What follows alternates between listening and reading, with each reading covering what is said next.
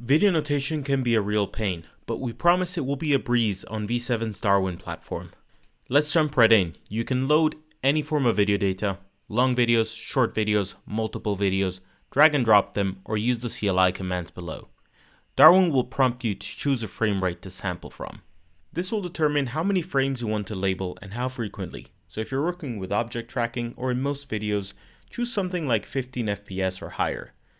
Sometimes though, you might want to choose something very low. For example, in general object detection, you could pick one frame every few seconds and sample images with a much larger variance.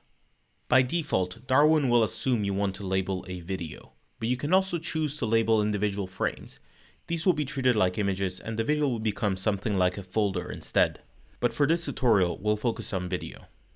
When uploaded, your video will take a few minutes to process. Darwin will make sure it can be annotated at the highest possible resolution, that there is no video compression affecting the image quality, and that no frames are dropped or miscounted. This all happens automatically in the background, without you having to worry about decoding or pre-processing any of your image data. Okay, we're now at the annotation interface. In the top right, you'll see the annotation list that you're familiar with. At the bottom, you'll also see a stacked timeline that shows the annotations and when they occur. Here in the left are navigation controls. You can press the arrow keys to move in between frames or click on these buttons. Video frames are intelligently preloaded and pre-processed, so you'll never have to wait for buffering. You can also click and drag the playhead to scrub through the video and play it at whatever speed you wish by moving back and forth. And whenever you pause, Darwin will load a full resolution version of that frame. You can click on keyframes to jump to them or anywhere on the timeline to skip to a specific location. We'll get to what keyframes are in a moment. Darwin's video annotation works much like video editing software. Objects appear as events in a moving interactive timeline at the bottom, and you can manipulate them by modifying the annotations, interpolating any changes, or moving them through time. Every type of annotation within V7 Darwin interpolates, including polygons, but you can choose to switch interpolation on and off at any point. Whenever you apply a change to a label, you automatically generate a keyframe in that point in time. Keyframe indicates that there has been a change to a label and you can interpolate in between them. Okay, enough theory, let's get down to making our first label. We'll see the front of this car appear on the edge of the screen, and make a bounding box around it. We can press the right arrow key to advance the frames a little bit, and adjust it to its new position. In this case we're labeling frame by frame, as this vehicle is changing a lot between them. However, once it's in our shot, we can start interpolating in between frames and simply drag our bounding box across the screen. We'll play the video and arbitrarily stop it at a point in which we want to move our box. As soon as we pick it up and move it, we will automatically generate a keyframe on this point that indicates that the box is supposed to be here at this time. We can then backtrace a little bit and make sure that the box sticks correctly to the car. Okay, it looks like we need to extend the duration of this label. You can select a label and click and drag its extremities to extend its duration. We'll make sure it lasts for the entire time the car is on screen. You can also obviously reduce the duration of a clip or move it around in time. If you do so, the position of frames will be saved, so they continue to represent the point in time in which they were originally created. You can see where these keyframes are by the black diamonds on the annotations.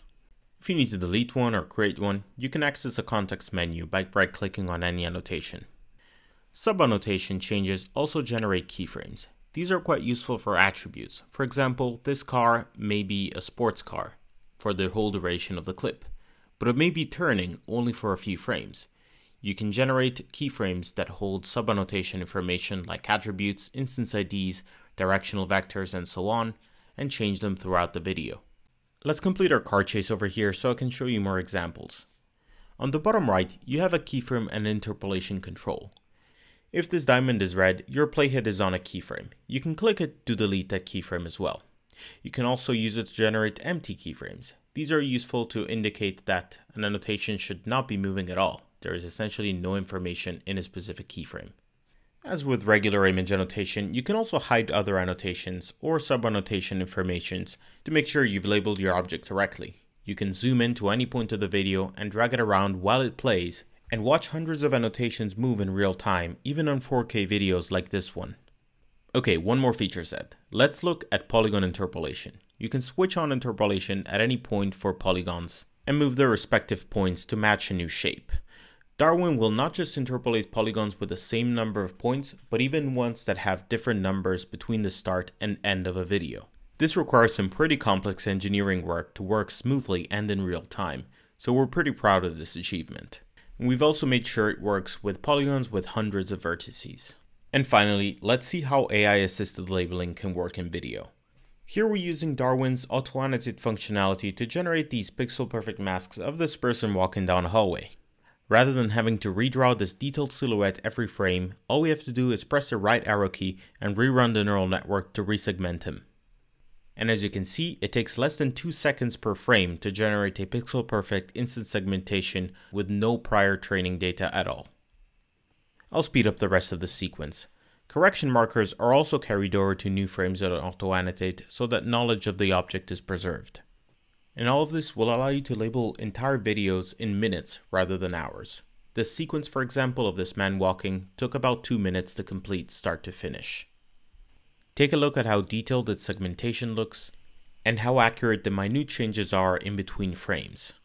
Our team at V7 is very proud of our video annotation features, and we hope you'll enjoy it too. You can try all of this now at v7labs.com.